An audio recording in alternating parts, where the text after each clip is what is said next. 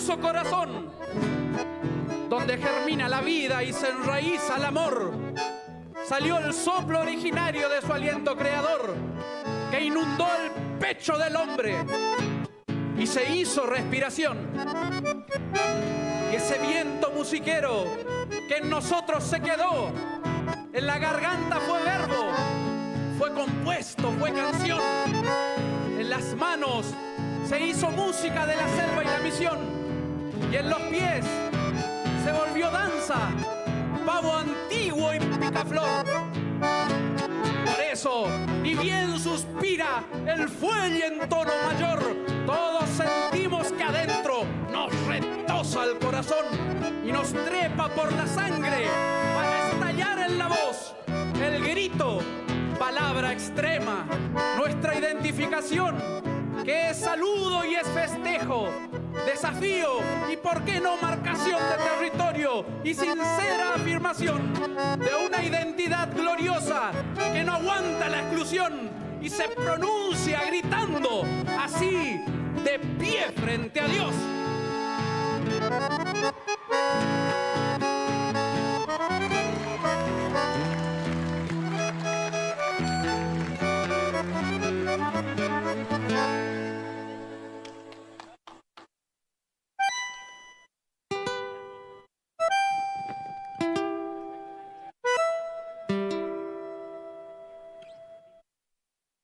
Hoy, en la calle, mientras iba yendo, entre el ruido, el apuro y el afán de tener, unos desconocidos me pararon pidiendo que por favor conteste, que querían saber. Me preguntaron si yo era un conformista, si un rebelde o acaso un soñador. Y me obligaron a pasar revista a lo que pienso, digo y hago, a esto que soy.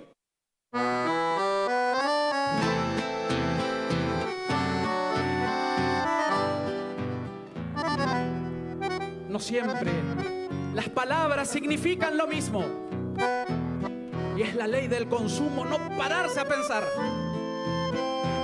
Yo quise contestarles lo que sé por mí mismo, lo que aprendí en mi casa, lo que he aprendido a amar. Y me puse a explicarles que lo mío, este genio, este modo y hasta el tono de voz, no es moda, copia, invento, desvarío, es una herencia, un algo que hace que sea lo que soy. Me dicen conformista, pues me asquean el lujo y la codicia. Porque para mí, ser sencillo es una ley. Dicen que soy rebelde, porque no transo con las injusticias, con la mentira, el robo y el que por algo te podás vender. Y soy un soñador porque al brindarme al que me necesita, siento en mí todo aquello que va contra su dignidad. Por lo tanto, señores, no soy un consumista, estoy en rebeldía y me gusta soñar. Solo soñando puedo seguir siendo yo mismo, porque soñando puedo no venderme y luchar, porque soñando puedo dejar en el camino todos los falsos dioses de nuestra sociedad. Y es que soñar hoy es una tarea que exige a gritos nuestro pueblo y es crear el clima para nuestra fiesta. Digo espacios fraternos donde uno pueda ser. Se trata de pensar con amor en el encuentro, ir sumando lo bueno, lo que conozco y sé que es mío y tuyo, patrimonio nuestro, tierra, gente, cultura, historia, pan y fe.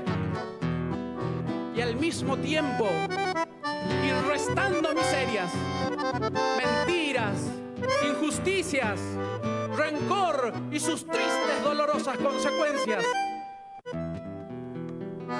Así, Así me reconcilio y sirvo a mi país, a esta mi patria hermosa, cuna de lo que somos, tierra de nuestros padres, donde yo y ustedes, mis hermanos, fuimos todos amados y vinimos al mundo por amor. Y fuimos no sé cuántas, quién sabe cuántas veces perdonados, traídos hacia el bien. Y así nacimos y crecimos y vivimos siempre queriendo ser hermanos, que es un modo de ser. Y bien, ahora ya saben de dónde vienen y hacia dónde quieren irse mis sueños.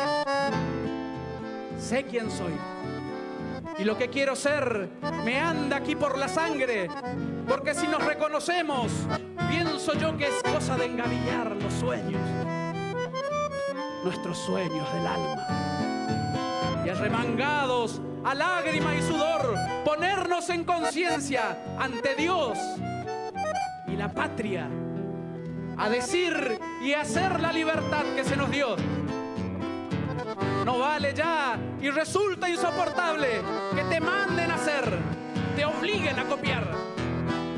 Solamente seremos de veras responsables si cada cual, si cada cual se juega su propia dignidad. Con sencillez seremos verdaderos y con justicia hermanos de verdad.